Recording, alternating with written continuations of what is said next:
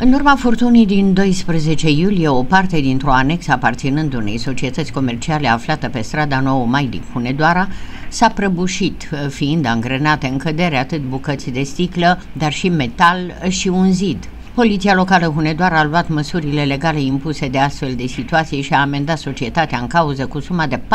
40.000 de lei pentru neîntreținerea corespunzătoare a clădirii deținute. De asemenea, în urma vijeliilor și a ploilor torențiale de ieri, au fost afectate 18 localități. Hunedoara, Bretea, Străi, Hațeg, Cristur, Plopi, Călan, Orăștioara de Sus, Popești, Costești, Bretea Română, Sântu Halm, Simeria, Grădiștea de Munte, Govășdie, Sarmise Getuza, Răcăștia, Zlaști și Orăștie, iar la numărul unic pentru situații de urgență 112 s-au primit până la orele 20 75 de apeluri care solicitau solicitau intervenția pompierilor militari pentru înlăturarea efectelor negative generate de fenomenele meteo de ieri.